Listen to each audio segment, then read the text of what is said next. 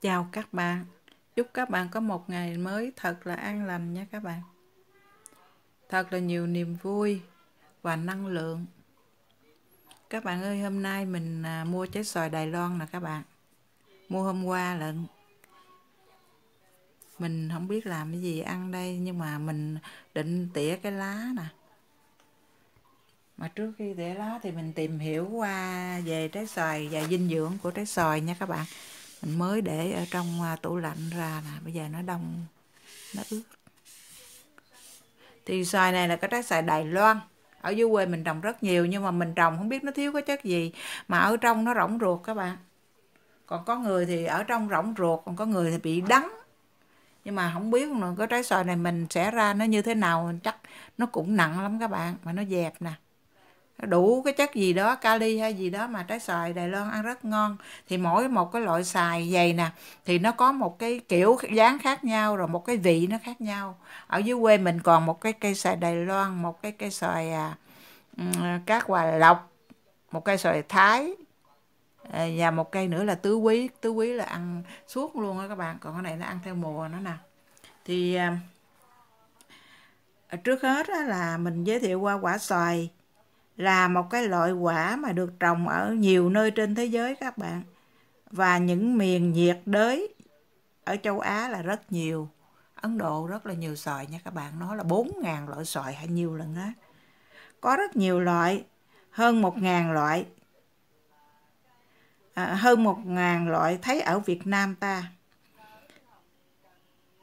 Xoài à, tượng xoài cát xoài gòn xoài hòn xoài hòa lộc xoài thái. Đó. rồi à, xoài Đài Loan xoài Ấn Độ xoài Mã Lai rồi à, đủ thứ hết các bạn.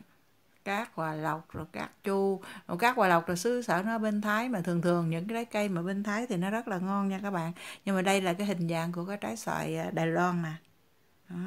nó bự nó to nhưng mà nó thơm theo cái kiểu của nó à, vân vân và vân vân là loại quả ít béo ít chất béo bão hòa.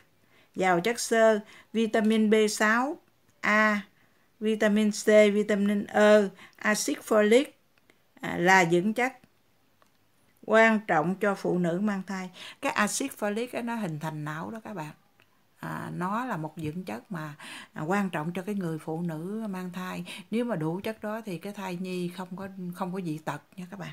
Nó cũng có cái hay. Là một loại trái cây giàu dinh dưỡng tốt cho sức khỏe. Tuy nhiên ăn quá nhiều sẽ gây tác dụng phụ không mong muốn. Nè cái này là công dụng của quả xoài nè.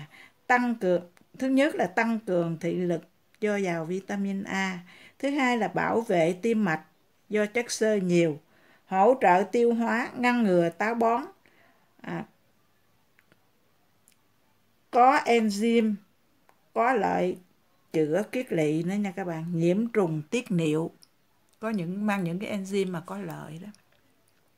Cải thiện trí nhớ, nhiều B6 kích thích não bộ, duy trì chức năng của bộ nhớ, ngăn ngừa bệnh Alzheimer. Đó phòng chống ung thư. Pectin hòa tan giúp ngăn ngừa tế bào ung thư. Có cái chất pectin đó các bạn. Vitamin C giúp bảo vệ các tế bào khỏi tác hại của gốc tự do, làm giảm nguy cơ mắc bệnh ung thư. 6 là ngăn ngừa dị tật thai nhi. Rất là quan trọng ha. Hỗ trợ giảm cân. Dù ngọt nhưng ít calo giúp kiểm soát sự thèm ăn, giảm mức độ gluco và cholesterol trong máu, hỗ trợ cho những người muốn giảm cân. Tăng cường sinh lý do nhiều vitamin E, cân bằng hóc môn, tăng khả năng sinh sản cho nam giới. Ăn nhiều, nam giới ăn nhiều là cái um, khả, cái khả năng sinh sản nó mạnh lắm nha các bạn. Làm đẹp cho da, Vitamin C hỗ trợ cho việc sản xuất collagen, giúp da săn chắc trẻ trung, chống oxy hóa, bảo vệ da, tránh tác hại của tia UV. Rất là hay luôn ha. Nhưng mà ăn nhiều á nhiều xoài chín á thì à, mấy người tiểu đường không nên ăn nha các bạn tại vì trữ đường nó cũng cao lắm ở đây hồi nãy giờ mình nói là à, xoài xanh đó là mấy người giảm cân rồi đó à, ăn dễ ăn cho nó dễ. Còn xoài chín đó là ăn nhiều xoài chín thì nó dễ bị tăng đường tăng đường nó nóng. Ăn xoài xanh là tốt hơn ăn xoài chín ha. Đó. đó là giá trị của trái xoài. Xin chào các bạn nha. Chúc các bạn có một ngày mới thật là nhiều niềm vui nha các bạn.